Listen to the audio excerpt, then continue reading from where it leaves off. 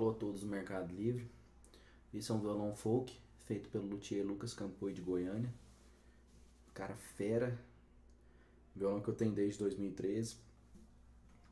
Como pode ver, tampa em espruce, laterais bobinga, fundo bobinga, muito bem acabado, braço em mogno, tarraxas douradas, escala em ébano, headplate em jacarandá indiano com um pequeno detalhe aqui em cima em algumas tarraxas porque eu troquei as tarraxas e consegui dar uma estragadinha. Nada que comprometa o som do violão. Bom no mais é isso. Um violão muito lindo muito bem feito e com muito som. Vou tocar um pouquinho aqui para vocês ouvirem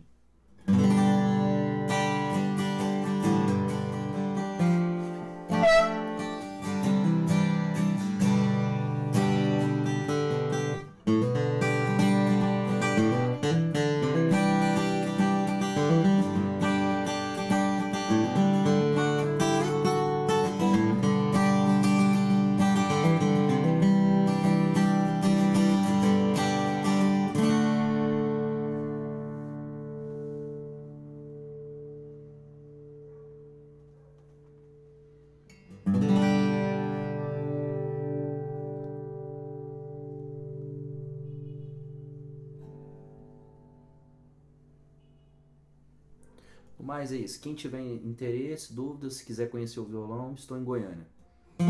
Obrigado pela visita.